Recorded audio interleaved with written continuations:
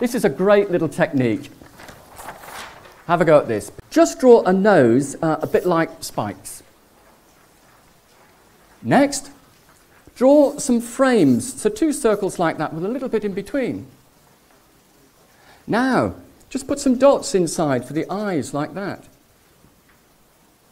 Next, the ear, so it's a little bit like we did before.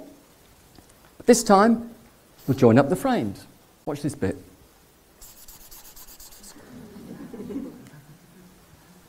And this bit I really like.